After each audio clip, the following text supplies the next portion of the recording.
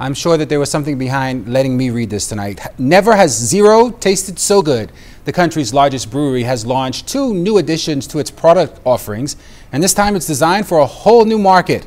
Tonight, Clint Watson was at Commonwealth Brewery as they revealed the Kalik Radler and the new Feroz. Like the taste of beer but don't want the alcohol that comes with it? The folks at Commonwealth Brewery may just have the beverage that fits the bill. Brand manager for non-alcoholic products, Stacy Mackey, says they're excited about two new non-alcoholic products, Kalik 00 and Feu Rouge, that brewery officials are hoping will make a splash with Bahamian consumers.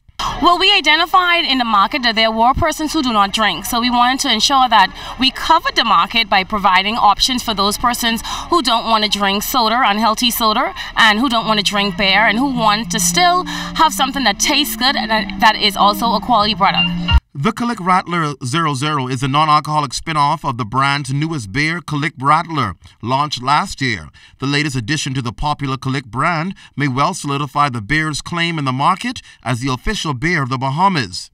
Everybody knows the Kalik brand, which is very strong. It's a quality product done right here at Commonwealth Brewery. It's a 100% Bahamian product.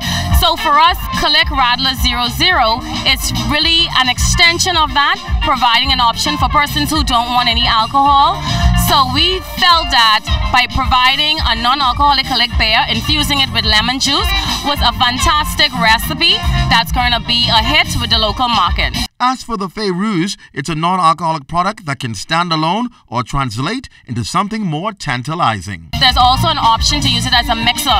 It's actually incredible with other spirits um, or even non-alcoholic options. We got a bartender on site who did a fabulous job with doing some non-alcoholic drinks. So whereby say, okay, it's a mixer, but you can still mix it in a non-alcoholic mixture as well.